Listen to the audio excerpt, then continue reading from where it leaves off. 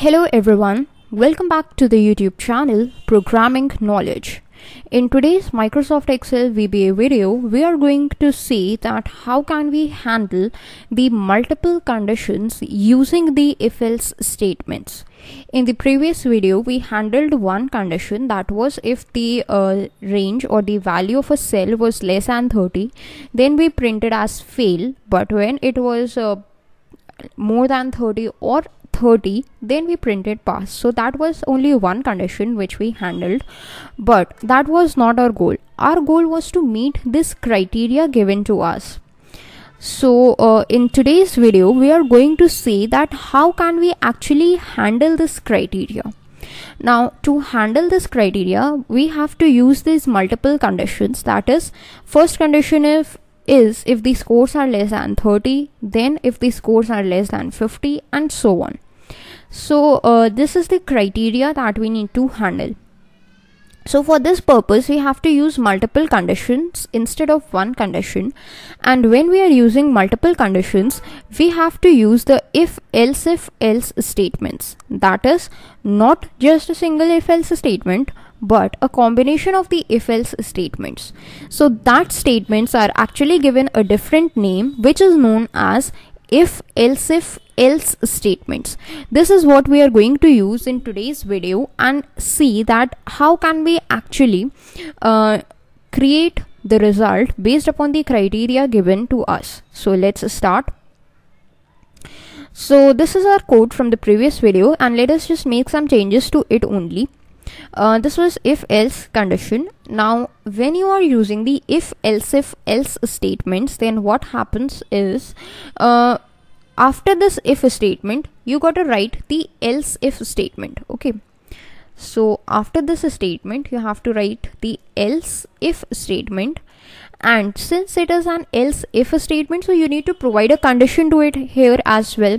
So the condition that we are going to provide is that if the value or the scores is less than 50 then we want the uh, value in the corresponding b column to be third division. So it's going to be like this. If range a3 dot value is less than 50 then okay um it's going to be like this.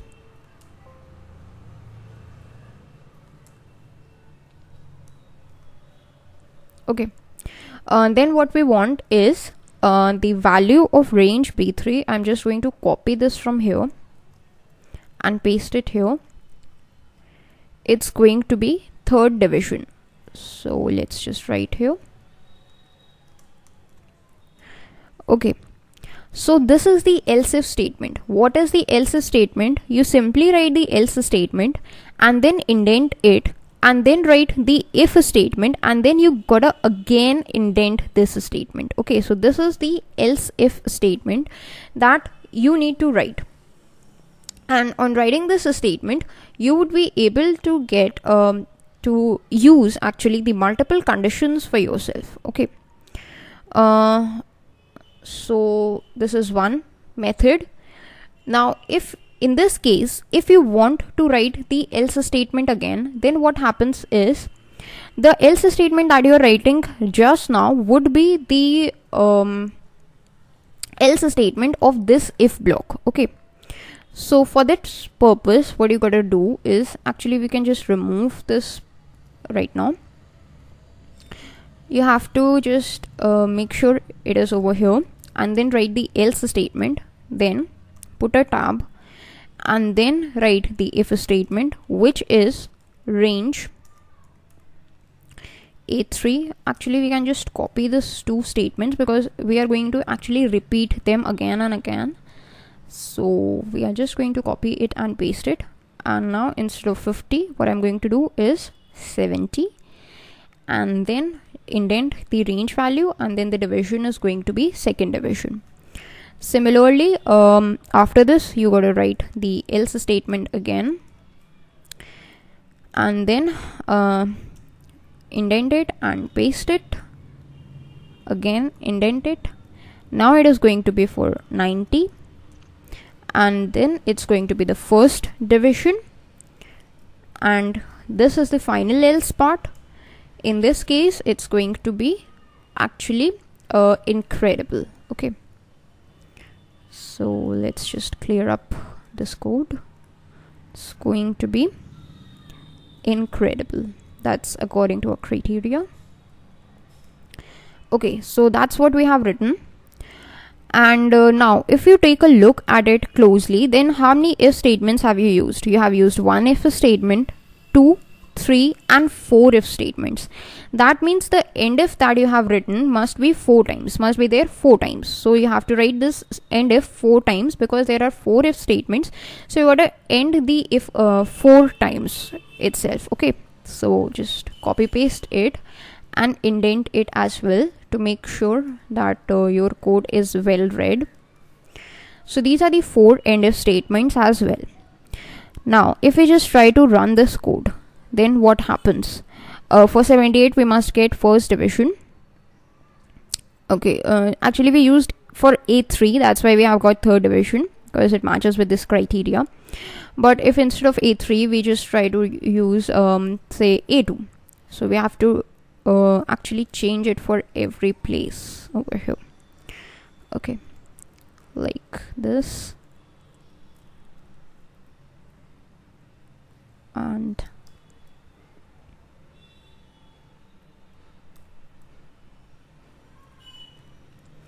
okay now if we try to run it but I'm going to run it uh, using the step into function so that we are able to understand its working. So let's start. First of all this statement is encountered but it evaluates to false. So our control goes to the else part.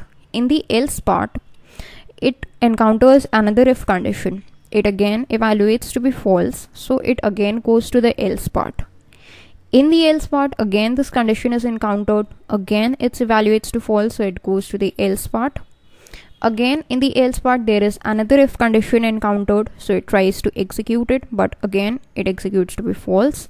So um actually uh, this condition is true that uh, yes 78 is less than 90 so this statement that is range b2 dot value is first division would be executed so if we again press f8 then we get uh, the result as first division over here.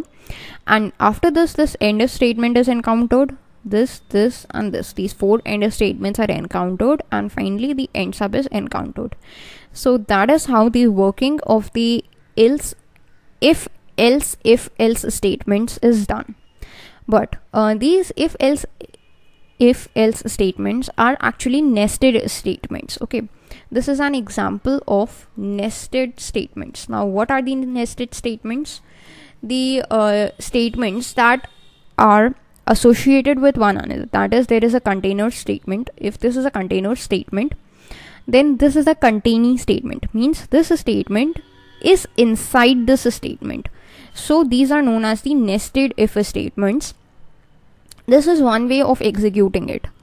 Uh, however, if you want to skip the nested if else statements, then what you can do is simply just write the else if without any kind of space over here.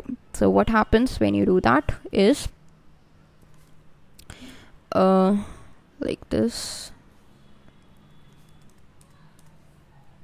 Okay, you can simply write it like this.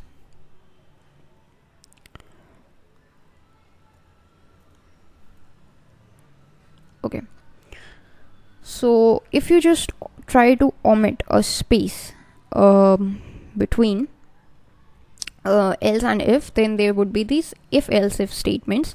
And uh, you need not write these end ifs. Only one end if will do the trick. It would do the work. Okay. So this is a much cleaner piece of code. That is um, you get all these statements over here. Let's just uh, give spaces over here so you're able to understand it in a better way uh, all these statements only one else part and only one else if end if statement. So let's try to uh, run it for a11 let's just change a11 over here. So this is actually a more preferred way because the code is cleaner. You gotta write less code. It's easier to understand. Uh, but it's totally up to you. Whatever piece of code you want to write because both are correct um, you can either write the nested if statements or uh, if you want you can write this statement as well. So if we just try to run it then we get the answer as incredible. All the conditions evaluates to false. So we get to the final else part where the output is incredible and we get the answer as incredible.